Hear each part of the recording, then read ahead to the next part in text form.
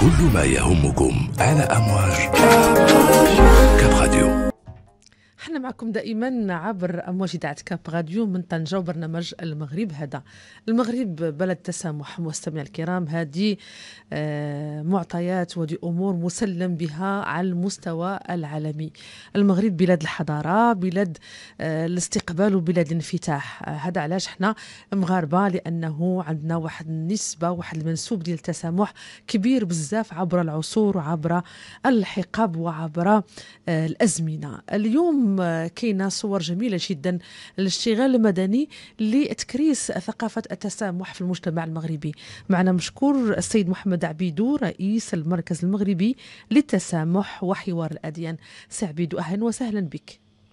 أهلا وسهلا بك أستاذة صوفيا. أهلا بكل مستمعي ومستمعات اذاعه إذاعة كاب راديو سي عبيدو كيفاش ممكن نوصلوا للناس أنه فعلا المغرب بلد التسامح وبلد حوار الأديان؟ آه، المملكة المغربية نعم. وبلادنا الحبيبة ارض التسامح والتعايش منذ أن وجد الإنسان على على على هذه الأرض الحبيبة. المغرب تعاقبت عليه حضارات إنسانية من مختلف الديانات والمعتقدات. المغرب آه، بطبيعته بتركيبته بحكم موقعه الجغرافي بحكم آه، حتى تركيبته البشرية وإنسانيته هو أرض للتسامح والتعايش بامتياز. هذا شيء آه، كنسمعوه كنشوفوه في مناسبات ولكن كيفاش نلامسوه على المستوى الواقعي السي عبيدو؟ أنت من خلال اللقاءات ديالك المتعددة مع الكثير من الأطياف في العالم كامل شنو كيوصلك من يعني من آه، من فهم بالنسبة لهم؟ وكيفاش هما آه، فعلا مؤمنين بأن المغرب بلد تسامح؟ واللقاءات اللي كتعملوا هي خير دليل على أنه كاين هذا هذا المعطى على المستوى العالمي وناس مقتنعين به؟ المغربي بالفطرة هو شخص متسامح. المغربي نعم.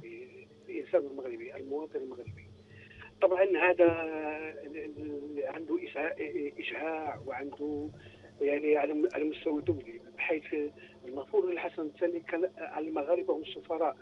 سفراء يعني أينما كانوا المغاربه فهم متواجدين في كل بقاع العالم المغاربة. فهم سفراء المغاربة لنشر هذه القيم للسلام والتسامح في كل بقاع العالم. آه، ف آه، وهذا ما وفي إطار كذلك علاقته علاقة المغاربة التي نسجوها مع هؤلاء مختلف الشعوب في كل بقاع العالم.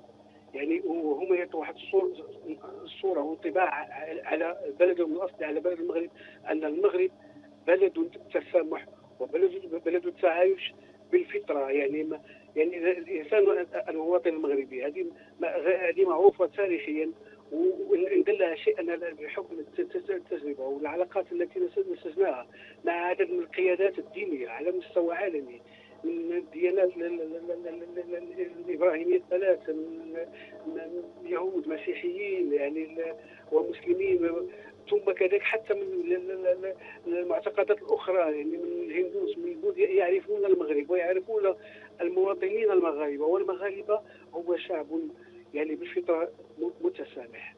نعم. هذا جميل. ومن مظاهر التسامح يمكن ما كنركزوش عليها بشكل كبير. السعبيد هو أنه كنتخيلوا أن المغاربة التسامح ديالهم فقط كيمشي للضفة الأخرى الضفة الغربية.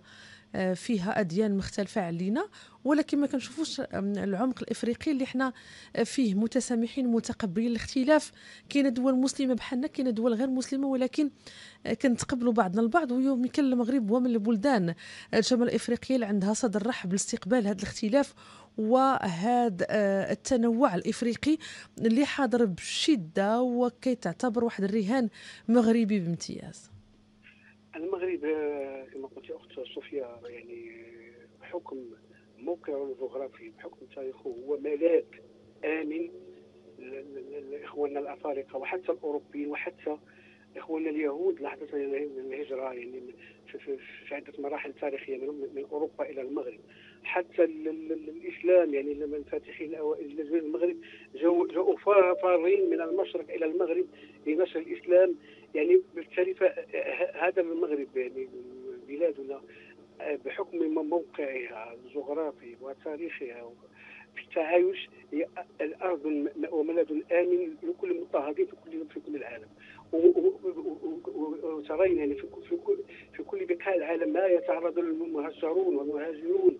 يعني من اضطهاد من من تنكيل من, من تعديل تلقى المغاربه بثقافتهم المتسامحه بكرم بجودهم يستقبلون اخواننا الافارقه وغيرهم في في بيوتهم ويقدمون كل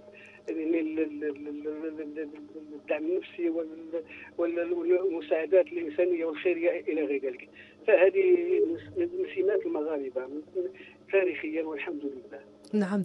الآن في 2024 سعبيدو مازال هذا التسامح يترجم كيف ما قلنا بلقاءات باجتماعات بندوات بحضور مغربي والبعد الديني آه، حاضر جدا كآلية لتعزيز هذا التسامح.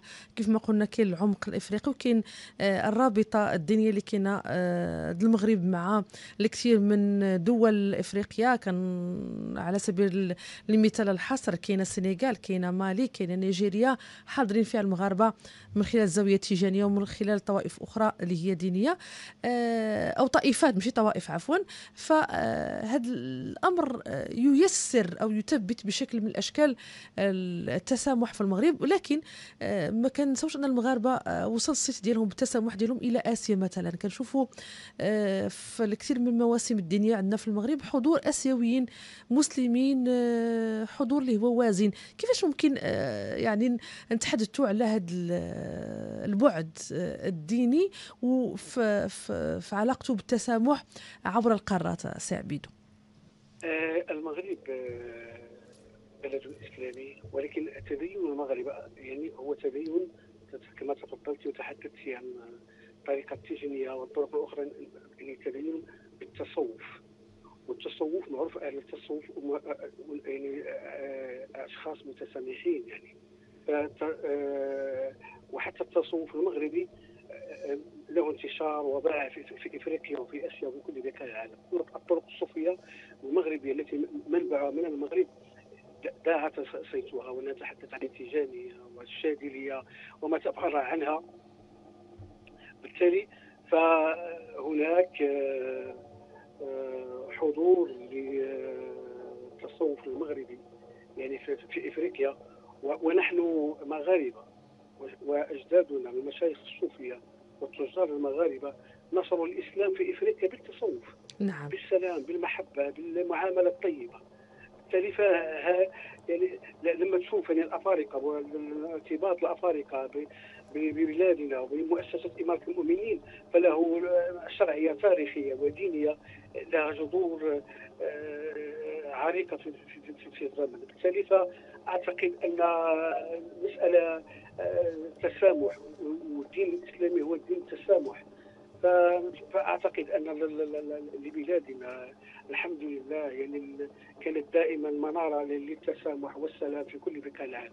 غادي نوقفوا لحظة معينة سي محمد عبيدو رئيس المركز المغربي للتسامح وحوار الأديان آه، للحظة غادي ناخذ فاصل اشهاري ونرجعوا مباشرة لتتمه حلقه مباشرة من برنامجكم المغرب هذا.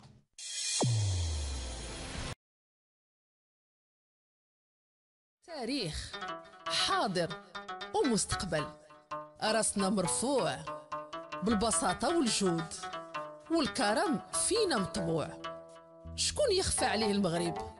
اللي جا مرحبا به واللي مشى الدم يعاود وما سخينا به. المغرب هذا كل خميس مع جوج ونص ديال النهار مع صوفيا السعيدي على كاب راديو. حاضر معنا دائما عبر أمواج إذاعة كاب راديو من طنجة محمد عبيدو رئيس المركز المغربي للتسامح وحوار الأديان. أهلا وسهلا ضيفي الكريم.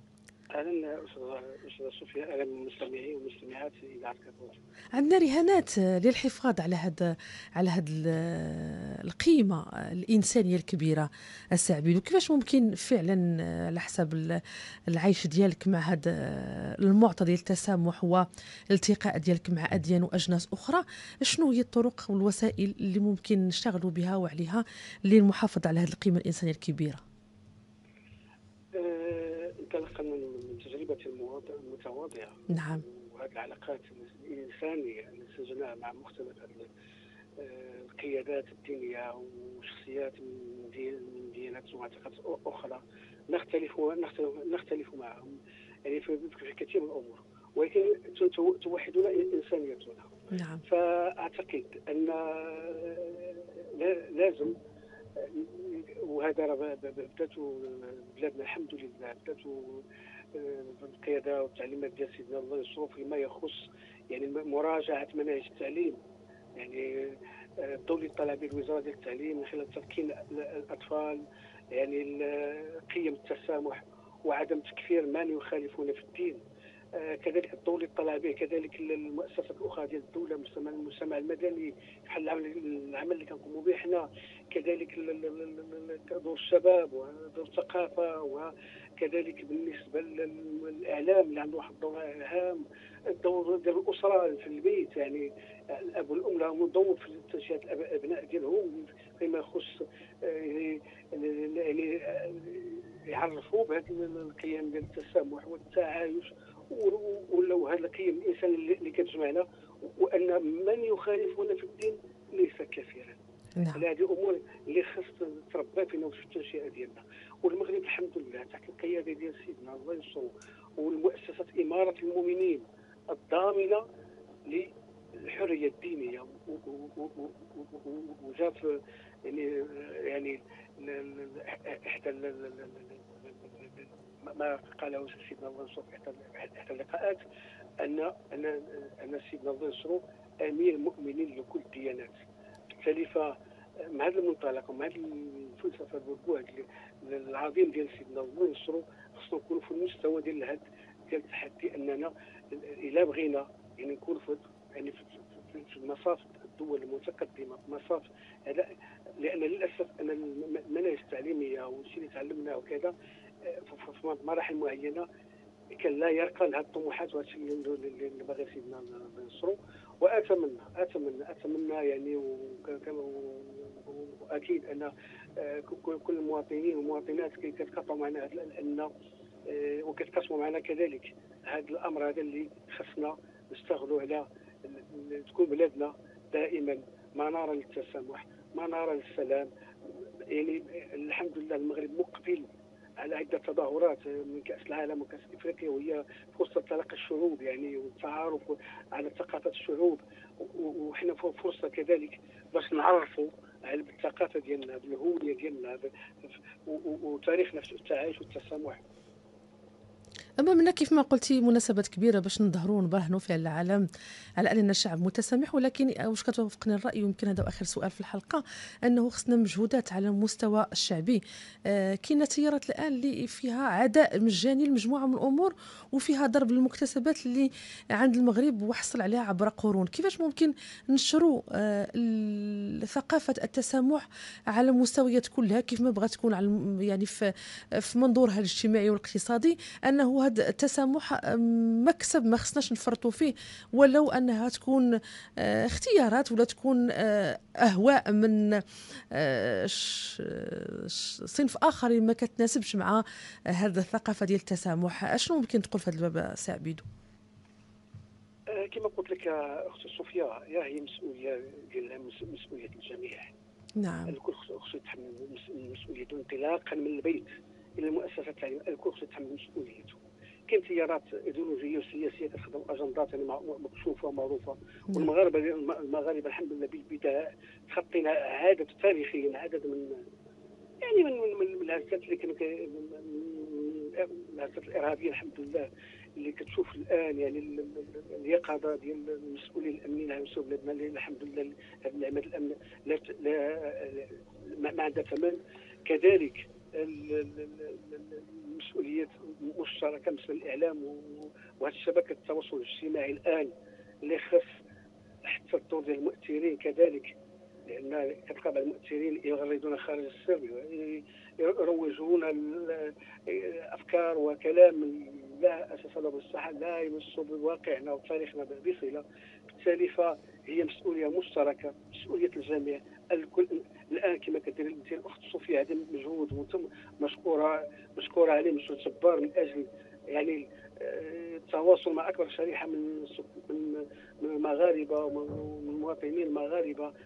باش نشرحوا أهمية التسامح. التسامح ما محصورش فقط في الدين ولا في التسامح هو آه، شي حاجة مرتبطه يعني في, تاريخنا في تنشئتنا كبشر ك كإنسانية اللي خصنا نسلحوا بها ونتبعوا بهذه القيم اللي ورثناها عند أجدادنا. كما قلت لك في تصريح صادق اخ سفيان نحن المغ... اجدادنا كانوا أكثر تسامحا منا هذا الشيء اللي بغيت نشير ليه. يعني يعني كانوا أكثر تسامحا منا كيفاش الناس ما كانش مستوى تعليمي كبير كان مستوى تعليمي بسيط وكان بساطة في العيش بساطة في كل شيء يعني حتى ظروف المعيشة كانت صعبة. وكانوا متسامحين مع اليهود مع النصارى ومع يعني وكان المسيح يذهب إلى الكنيسة واليهود يذهب إلى معبد اليهود والمسلم يذهب إلى مسجده هذا الشيء في قرون خلت من الزمن من تاريخنا كمغاربه يعني يعني هذا الشيء ماشي جديد علينا كمغاربه هذا إرث. يعني غني وقوي ترك من أجدادنا لازم نحافظ عليه ونطوره ونكونوا إن شاء الله دائما سباقين إن شاء الله. المملكة المغربية دائما آه، منارة عالمية للتسامح. تحت قيادة سيدنا لنا كاين واحد مؤسسة إمارة المؤمنين هي ضامنة. يعني ضامنه بحكم العمل اللي كتقوم به في كل بقاع العالم آه، جلاله الملك تلقى في كل يعني النزاعات أو كل الصراعات اللي العالم تلقى جلاله الملك والدبلوماسيه المغربية حاضرة من أجل قبل هذه النزاعات ونشر السلام والتسامح بين كل بين كل كل هذه الشعوب كل الشعوب. شكرا سي محمد عبيد رئيس المركز المغربي للتسامح وحوار الأديان. مؤمنين بالفعل ومؤمنين بحقيقة أن المغرب تصنع ومن أركان حضارة المغرب أنه كان متسامح واللي زاد غنى الثقافة المغربية هو هذا التسامح وبالتالي هذا معطى ما خصناش نفرطوا فيه وخصنا نفهموا العمق ديالو ونفهموا أفضاله على الأمة المغربية وخصنا نشتغلوا عليه أنه يبقى في أبهى الصور بعيدا على كل آه، التيارات اللي ممكن تعصف بهذا المكتسب الإنساني ولا مادي. شكرا سي محمد عبيدو ولقائنا إن شاء الله دائما غادي تجدد معك لأنك آه، كتشتغل على موضوع اللي هو كبير اللي هو التسامح وحوار الاديان ففي كل مرة نتواصلوا معك من أجل تثبيت هذا الثقافة وتثبيت هذا الصرح الإنساني الكبير اللي هو ثقافة التسامح في المغرب. تحياتي ضيف الكريم. مرحبا ونحن في خدمتكم أستاذة صوفيا في أي وقت مرحبا مرحبا. شكرا الكرم آه، قبول الدعوه سي عبيدو وشكرا لكل المستمعين الكرام وفي برنامج المغرب هذا. نلتقي الأسبوع المقبل بإذن الله.